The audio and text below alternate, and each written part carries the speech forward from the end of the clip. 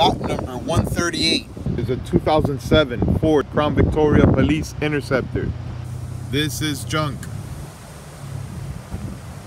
Windshield is cracked. Heavy damage all around. Engine and transmission appear to be in place. Parts are missing.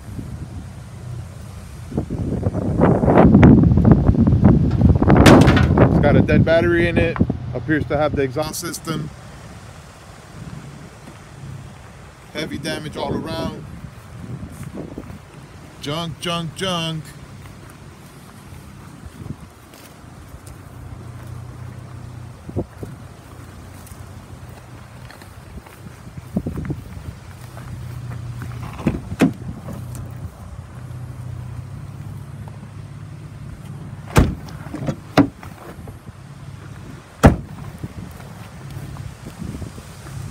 Lot number 138. Good luck.